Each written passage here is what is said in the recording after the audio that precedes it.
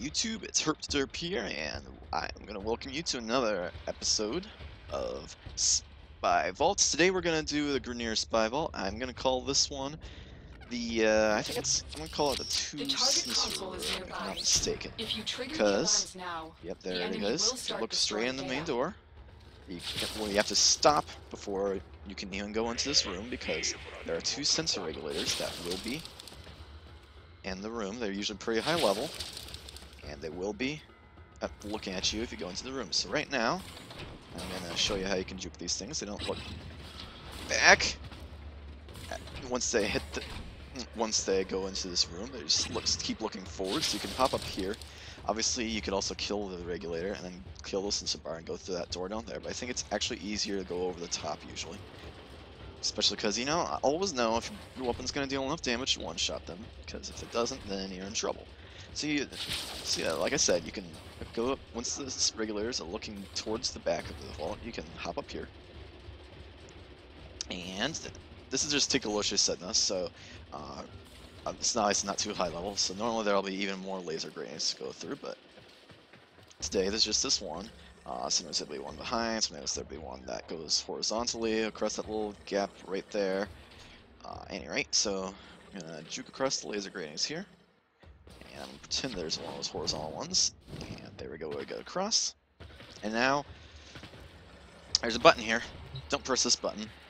that button's actually useful.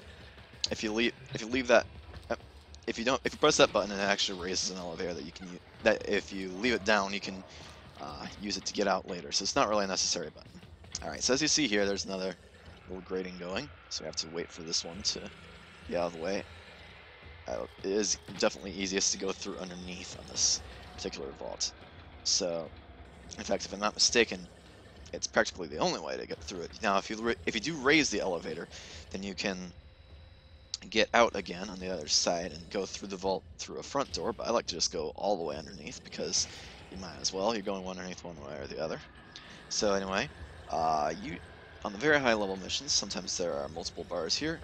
Uh, all I have to do is judge whether each one you have to slide under or hop over. This one is a slide under. So whoop, there we go. There's that elevator. I have an Eximus on me, so that must mean that there's an Eximus unit walking around. And I do see on my map there are three units in here. Uh, there were three units a second ago. Right now I only there they are. Two of those are the, are the regulators, and one of them, the one that's showing up at the same level, is going to be that Arson Eximus guard. So I'm going to let him walk by. Uh, there we go. Uh, hop out right behind him.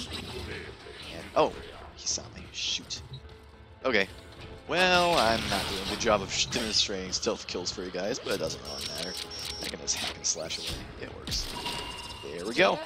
And that's a clean hack. And like I said, if you go right here, you can then take this elevator straight up, and it will get you out of the level. Alright, well, that's all I have for the two sensor vault, so peace out, YouTube. That'll be, that's enough for another Herp Derp episode of Spy Vaults.